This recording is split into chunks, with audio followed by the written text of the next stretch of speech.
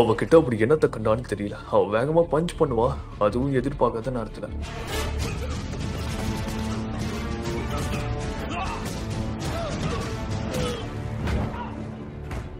என்ன? நிறுத்து. ட்ரக் நிறுத்து. இல்ல இல்ல இல்ல. அப்படி மட்டும் இருக்க கூடாது. நோ நினைச்சேன்.